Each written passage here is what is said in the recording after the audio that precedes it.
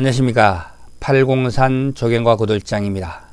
컨텐츠 제작에 필요한 구독, 좋아요, 알람, 그리고 댓글 정중히 부탁드리겠습니다. 정지 전쟁에 대한 방법을 알아보는 시간으로 현장 실무 전문가가 말하는 정지 전쟁 이야기입니다. 소나무 농장에서 수영을 잡기 위하여 처음으로 정지 전쟁, 수영의 틀을 잡고 있는 모습입니다. 소나무 전쟁의 기본에 대한 얘기가 되겠죠. 이 동영상을 보면서 소나무 전쟁에 대한 이해도를 높일 수 있을 거라 생각할 수 있습니다. 한 번도 전쟁을 해보지 않으신 초보자분들은 여러 번 반복해서 보면서 머리, 머릿속으로 그리면서 나무를 잡고 손수 잘라보아야 비로소 실력이 내 것이 될 수 있을 거라 생각해 봅니다. 반복하지 않으면 항상 서툴 수밖에 없는 것이 바로 살아있는 나무를 건강하고 보기 좋게 해야 하는 소나무 전쟁의 난해함이 되겠습니다. 지금부터 전쟁 실무 전문가와 이야기해 보도록 하겠습니다. 하면서 설명을 탁탁 쪼까이 자 전지 완전 기본 초짜들 정원에 있는 나무를 전지할 때 가지가 많이 엉켜 있습니다. 이제 정리를 해야 됩니다.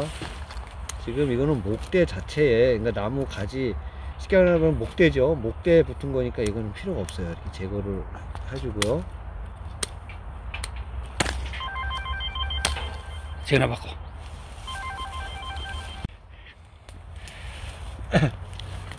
보세요. 이런 상황은 이제 평형지가 되겠죠. 평, 평, 평행지 한쪽 방향으로 두 가지가 같죠. 여기 가지로 왔을 때. 요거는 평형지라고 해서 무조건 다 제거는 아니에요. 상황에 따라 붙여야 되는 경우도 있고 제거를 해야 되는 상황도 있는데 요 평형지 같은 경우는 잘라야 돼요. 그러고요. 여기서 이게 가운데 스윙입니다. 이거를 자를 것이냐 안 자를 것이냐를 판단을 할때 어, 무조건 자르는 게 아니에요. 가운데 순이라고 해서 지금 이 가지를 키워야 되겠다 더 퍼지게 해야겠다 그러면 이걸 자르지 않는 거예요 전체적인 수영이 이쪽이 빠졌으니까 그죠? 그렇죠 어. 이쪽이 길고 이쪽이 약하니까 이쪽을 더 키워내야 되는 상황이 되면 이거 붙여야 됩니다 어떻게 붙여지죠? 그냥 놔둬요? 그대로 놔두는 거죠 아 내년에 그래야 이걸 힘발을 해서 여기서 더 나왔을 때 거죠 내년에 정리한다 네. 마찬가지로 이건 이제 우에 상승이 되나요? 그런데 우회가 이만큼 커진 한데도 그거 잘라주는 거예요? 아 자르죠 왜죠? 이거는 이제 가지 자체 이렇게 되면 요거는 우위로 크겠죠 바- 방향이 우에 있는 그렇지 그렇지 그렇지 요거는 도장지가 됩니다. 삐럭삐럭 하나면 도장지가 되는 스타일 되겠죠? 그래서 제거를 잘라준다 해줘. 또 요거는 놔둬야 됩니다. 왜죠? 이거에 비해서 작잖아요. 그렇지 네? 끝만 그래요? 잘라주고 요것도 잘라야겠죠? 왜냐면은 이 가지가 있기 때문에 이 가지를 살려야 되니까. 아, 그런데 이거를 어 평면이 아니라 납작하게 만드는 게 아니라 약간 호빵처럼 두껍게 만드는 게 원래는 소나무 전제 정석이에요. 그러다 보면 여기도 조금 사실 붙여야 되는 게 맞습니다. 음. 그래야 호빵처럼 부풀겠죠? 음, 이렇게 되고요. 그 다음에 이것도 잘라야 되는데 이거는 처- 힘이 쳐지니까 잘라야 되고요. 여기서 마찬가지로다가 어, 키울 것이냐 아닐 것이냐를 계산을 해야 돼요. 그런데 여기서는 우에 나무가 지금 있어요. 이 가지가 약하니까 붙여놓읍시다. 이게 음. 가지가 강하고 그러면 자르는 게 맞아요. 그리고 여기도 목대에 붙은 거니까 제거를 하고. 여기는 이거 또다시 평양지죠. 평양지를 걸쓸 것인가를 판단을 해야 돼요. 지금 너무 붙었죠 이쪽이. 그렇지. 그러면 이 평- 이걸 잘라내는 게 맞겠죠. 이렇게 하고 마찬가지로 이거는 가운데 순이고 너무 마디도 길고 지금 의미가 없습니다. 마찬가지로 이것도고요. 이렇게 하고 여기도 목대에 붙은 거는 지금 가지가 의미가 없고요.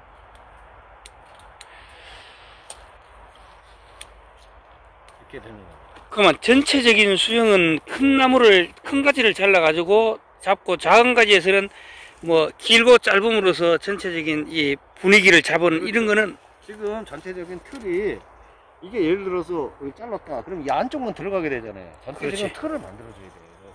음. 라운드 틀을 해야죠. 전체적으로 이 구름처럼 이렇게 하나가 돼 있네, 그죠? 네, 전체적인 모양이 여기를 잘라 뿌리면은 이훅 뒤가 뿌리니까요. 그렇죠. 지금 일반적으로다가 이제 산에 비교를 할 수 있어요. 나무를 하나의 산위로 봤을 때 물론 잘생긴 산만 있는 건 아니에요. 그렇지. 완만하게 잘생긴 산만 있는 게 아니라 악산도 상황에 따라 보기가 좋죠. 한데 이거는 악산을 만들기에는 조금 부족함이 많은 가지로 보이기 때문에 원만한 산으로 갈 수밖에 없는 음. 상황입니다. 산으로 비교를 하면은 이 편한 일단 요거는 올해는 됐고 내년에 만약에 전질하면은 어떻게 전질을 해야 되는 거죠? 만약에 전지를 했을 때 이제 이 가지가 나와서 여기서 컸겠죠? 그렇죠. 전체적인 수용을 봤을 때 이 가지가 너무 나갔다. 그러면 이제 가운데 숨 제거를 해야죠. 아 전체 그럼 위에 이, 이, 이 레벨하고 사이에서. 이게 더 나와주는 게 좋아요? 더 뒤가는 게 좋아요? 지금 상태로는 더 나오는 게 좋죠. 아 밑에가 더 나와주는 게 좋다. 나무는 나무만의 특성이 있어요. 무슨 얘기냐면 나무는 키로도 성장하지만 부피 성장을 합니다. 그렇지. 당연히 그렇게 하죠. 그런데 나무는 밑에 있는 가지일수록 모든 나무는 밑에 있는 가지일수록 잎이 빨아들이는 힘이 약해요. 그렇지 약하지. 맨 위에 있는 상순이 빨아들이는 힘이 강, 제일 강해요. 왜냐하면 직관으로 이루어졌기 때문에 위에 있는 상순이 제일 강해요. 그리고 정석은 위에는 강하게 그 밑, 점점 점점 점 내려오면서 약해는 약하게 자르는 거예요.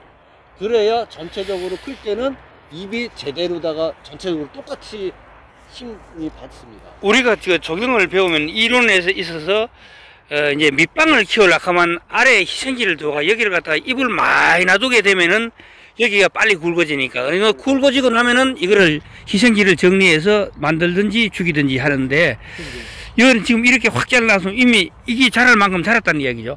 더 이상 굵을 필요가 없다는 이야기죠. 아, 지금 이제 말씀 그 잘하셨는데 바로 희생지 역할이에요. 이거 이 나무를 보면 바로 표현이 될 거예요. 지금은 잘렸지만 붙여 있었던 가지 같죠? 그것 때문에 이게 굵어졌다 빵이. 여기에 가지가 많이 붙어 있다 보니까 여기에는 얇아진 거예요. 여기까지 붙죠. 그리고 여기서부터는 얇아졌죠. 이걸 너무 많이 붙였다는 얘기죠. 음, 붙여도 한두 가지만 붙여가지고선 어느 정도 희생지 역할을 해야 되는데 너무 많이 붙이다 보니까 확 줄여붙어요. 위에는 약하고 밑에는 굵고 이 상황이 음. 되는 거예요. 그래서 희생지를 많이 붙일 필요 없습니다. 음. 그 균형에 맞게 붙이는 게 맞는 거예요. 마찬가지로 이거는 희생지 개념이 아니라 이미 다 굵었으니까. 의미의 어떤 조화를 이루기 위한. 음, 지금은 다 커서 이거 이거 같은 경우도 이제 그렇죠. 더 이상 네, 빠- 이것도 조화를 이루려고. 근데 밑에 빵은 좀 작잖아요, 그거는. 빵이 작더라도요. 어차피 여기 균형하고 여기 균형이 거의 비슷하니까 이거를 그렇다고 키를 크게 볼 나무가 아니거든요. 조형목으로 갈, 만들려고 하는 나무니까 요거는 붙여야 됩니다.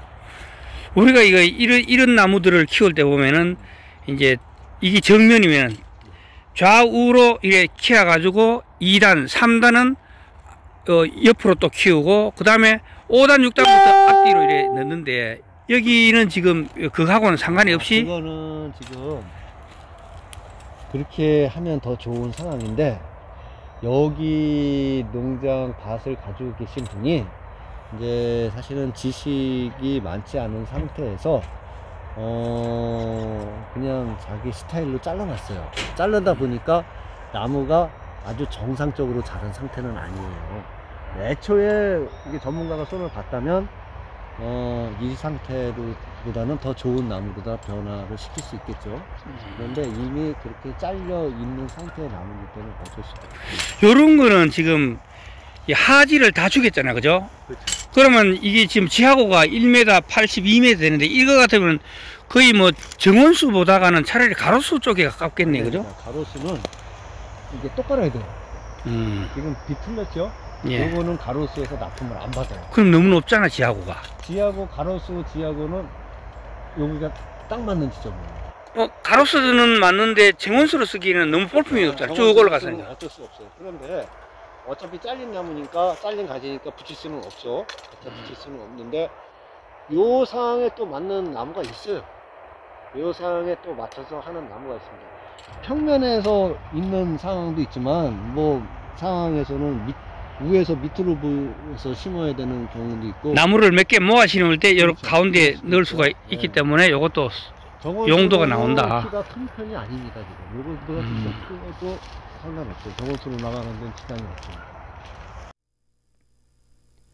소나무 전증의 기본은 소나무가 태어날 때 가지고 태어난 자연 수형 그것을 기본 수형으로 잡고 어떻게 표현할 것인가를 도화지에 흰 도화지에 아무도 손대지 않는 흰 도화지에 그림을 그리듯 머릿속에 담아가면서 그림을 완성해 나가는 작업이라 생각하시면 좋을 것 같아요.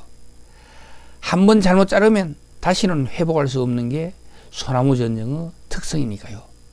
늘상 이야기하듯이 자주 반복적으로 다른 사람들이 전쟁해 놓은 것을 보고 또 따라해보고 또 자신의 색깔을 입혀나가는 것이 소나무 전쟁을 알아가는 첫걸음이라는 것을 강조하면서 오늘의 전쟁에 대한 이야기를 마무리하고 다음 회에 또 다른 이야기로 찾아뵙도록 하겠습니다.